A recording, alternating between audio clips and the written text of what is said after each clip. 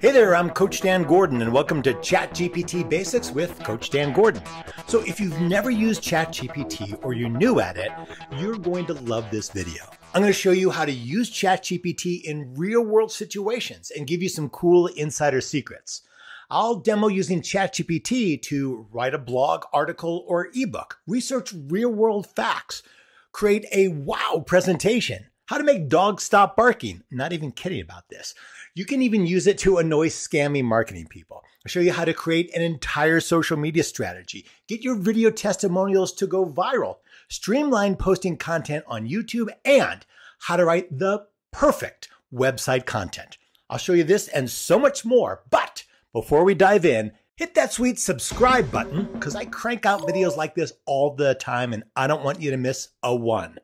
Okay, let's do this. So, what is ChatGPT and why should I care? So, you want to think of ChatGPT as your good friend who knows everything.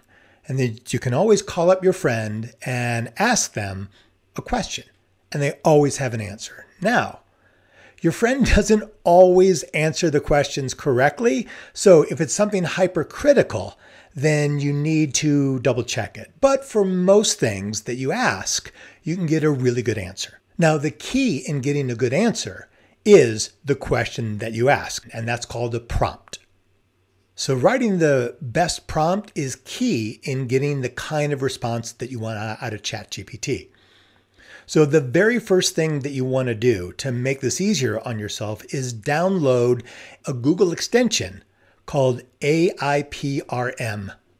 And that you can just do a search for it, AIPRM for ChatGPT. And then I already have it, but you'll put add to Google Chrome. So, what AIPRM does is it gives you a starting point, it helps you in prompt writing.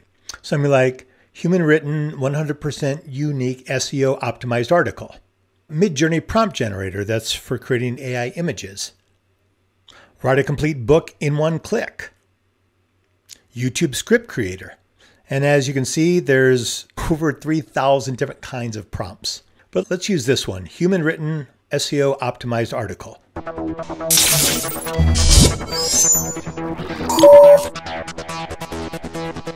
So now we just put in the kind of article that we want to write. Let's just call this the 10 best ways to relax when you're feeling stressed.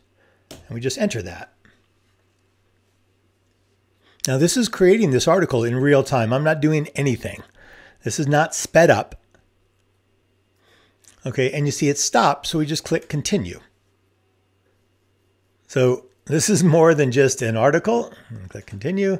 This is creating a short book. And you can see it also has come up with FAQs and it's done. So I now have a full article or an ebook on how to relax when you're feeling stressed. Now I have premium version of this plugin. And so I can go into writing style and choose a different style or a tone. So I'm going to do humorous. So now I'm going to be more specific, write a short article called The 10 Best Ways to Relax When You're Feeling Stressed. As you can see, it didn't occur to me that ChatGPT was going to write this huge article. I just wanted to do something very short as a demonstration. So this is a prime example of being very clear with ChatGPT in order to get the response that you want. Again, I'm going with a humorous tone. And because I haven't clicked up here and started a new chat, it's still operating under that same prompt device that I started with. So now it's going to generate a similar article, but with a humorous tone. Let's see what happens. As you can see up here, this is pretty serious. Now in this new version, it's pretty light. Ah, stress, the unwelcome guest that always overstays its welcome. Even the suggestions scream therapy, pajama power hour, dance like no one's watching, bubble wrap bonanza. Now, there's a lot of different tones here, but again, this is because I have a premium version. But you could create a prompt and ask it to write something in a humorous tone, even if you don't have that.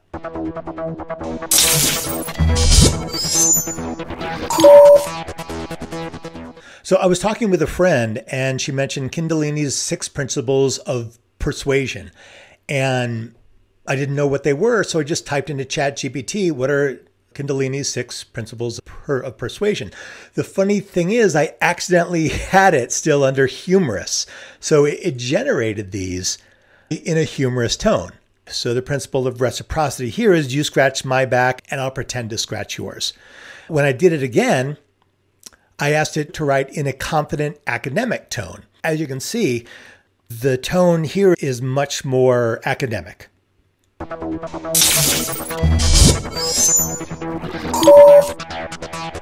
Somebody else told me that the movie Invictus has a bunch of really interesting leadership lessons that are expressed in the story of Nelson Mandela. So I just wrote Best Leadership Lessons, the movie Invictus.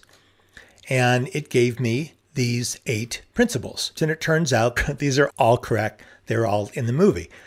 But what I thought would be really interesting is if I could find the places in the movie where each of these principles were expressed. So I said best leadership lessons from the movie Invictus include timestamps from the movie where each lesson is featured. And it did exactly that vision and inspiration.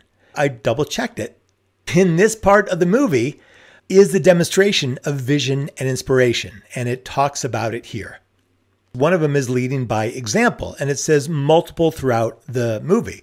So I asked down here, describe the leadership lesson of leading by example as demonstrated in the movie Invictus include three timestamps from the movie where this lesson is featured. And sure enough, it did. It gave me three spaces in the movie where leading by example works. So what this means is that if I wanted to do a presentation about leadership. I have the places in the movie where it exists that I can put in my presentation. So this just saved me hours and hours of work.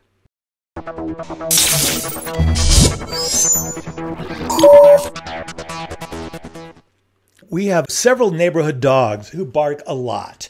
And I downloaded sounds that make them stop barking. So I thought it'd be really interesting if I could create a switch that would turn on when a dog barks and then it would play the sound and hopefully make them stop barking. So I just typed in, how can I make an electric switch that triggers when a dog barks? And it gave me these directions to follow. Now, one of the things it says is three, write the code.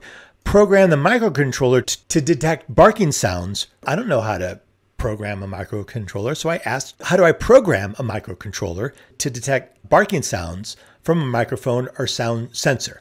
And here it is. Not only does it give me the steps, it shows me how to write the code and what that code should look like. I'm not a programmer, I'm never going to do this, but it is amazing that it was able to do this.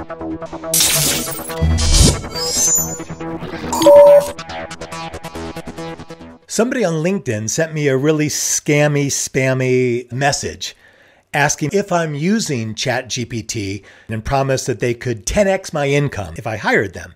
So I thought it'd be funny to write a detailed negative reply to a LinkedIn marketing request. I just popped that in and it spit this out. So I copied and pasted it into this person's message. And then underneath it, I wrote written by ChatGPT.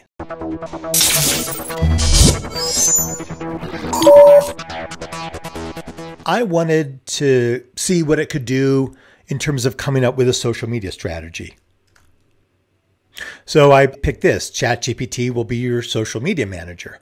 And this is exactly what it did. It listed the social media channels. It gave me a social media calendar for each social media channel and what I should be doing each day of the week. Facebook on Monday, motivational quotes. Wednesday, product showcase. Friday, customer testimonials. Monday, stay motivated and achieve your goals. Wednesday, introducing our new product, XYZ Deluxe. And Friday, here's what our customers have to say about us.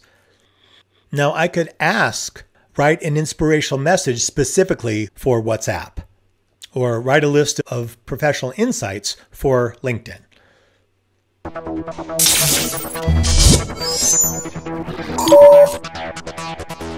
I have a bunch of testimonial videos, and I wanted to write Facebook posts for those testimonial videos. In other words, when I put the testimonial video in Facebook, I want to know what to put in in the post above it to get people to to read it. So here is the list of all the people that did testimonials for me. And you see how there's some X's after some of their names. The reason that I did that is here's my prompt.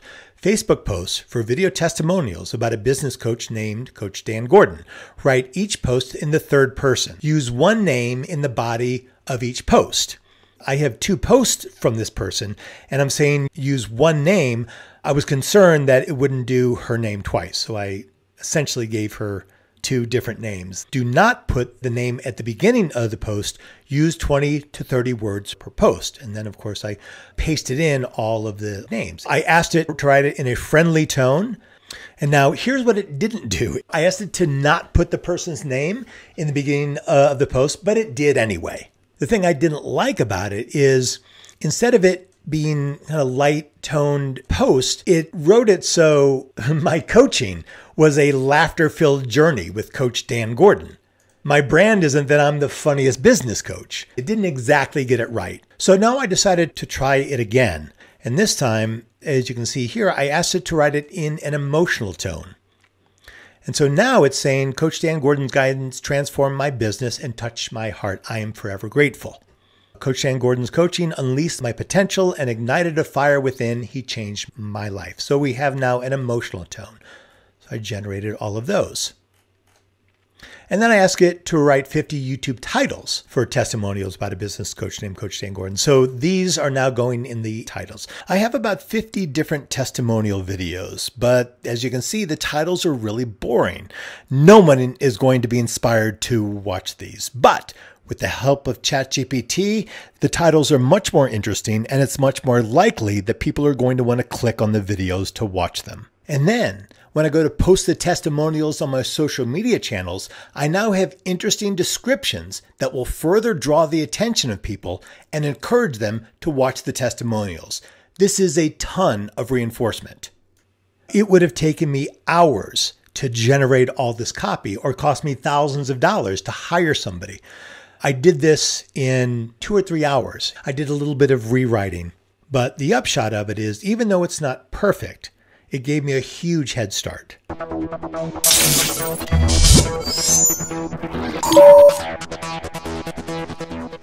I have a video called Do What You Love and the Money Will Follow. So I asked ChatGPT to create a description for a YouTube video called that with a maximum of 55 characters, five variations of the title, create a list of 30 tags with a comma in between each tag, and create a description for the video without exceeding 300 characters, which is the limit for YouTube. So it gave me five variations for that title. It gave me tags and it gave me a description. Learn how to turn your passion into profitable work and achieve financial success.